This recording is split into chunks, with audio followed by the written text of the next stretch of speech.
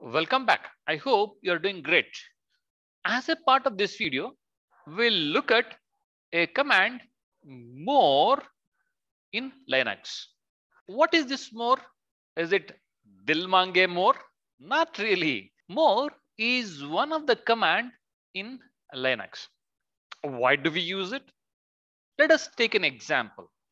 You have created a file, file one, file two, etc. You would have created multiple files. As we know, we can always do most of the things in Linux by using commands. More command is used to view the text files in the command prompt. As I indicated, if you want to view the text file you have created in the command prompt, you can use a more command for that. If you see that we are using it here, more, then the name of the text file and it displays the contents of that file called blismos.txt. More commands do come with couple of options. Let us say we have a option called hyphen D. What does it do? Simple. If you want to navigate through the different contents of a file, this option with more makes it bit more easier. For example, it does provide if you want to continue viewing the file, you can hit the space. If you want to quit, you can hit the Q. And we do have one more option. Whenever you are working in a terminal, you would be working with multiple things, right? So this command will clear the screen and display the text of a file. Let us see these options of more as a part of the hands-on.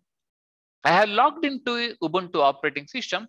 Within that, I am trying to open a file and see the contents of the file. Let me say more and I say data engineering.txt. Okay. There you go. I can see the content of this particular file. Let me say Q to quit this. And one more option, as I already indicated, is hyphen D. Let us use this option to open a file. I'll say more hyphen D and then the name of the file. Yeah. So it opened the same file, but you do have options here. You can see here, I'm hovering my mouse. Press space to continue, Q to quit. If I go on pressing space, it will move to the next lines of a file. And if you want to come out of the file, very, very simple. Go ahead and hit the Q. I have one more option that is hyphen P. This option should clear the contents of the screen and display the file. There you go. These are the very, very simple options of more command, which comes handy to open a file and navigate within the file. Thank you.